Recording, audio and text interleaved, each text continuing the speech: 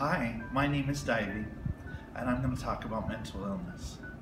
Many times people say that those with mental illness can't do anything. They're too scary, they're dangerous, they cause problems. You know, mental mental people should all be in an asylum or something. But I'm an example of someone who has mental illness. Actually, in the United States, one in four individuals will encounter some sort of a mental illness at some point in their life. I participate in a program in Salt Lake City called the Alliance House. It gives people the opportunity to show that they can be something more than their illness.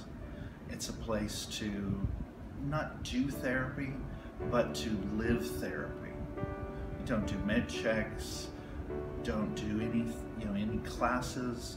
We do meaningful work. Work is our recovery method. And in such, we can socialize, rebuild our social skills, show the things that we do know because people with mental illness who have been out in the world do have skills. They're just locked up and they don't, people don't think that they can do anything.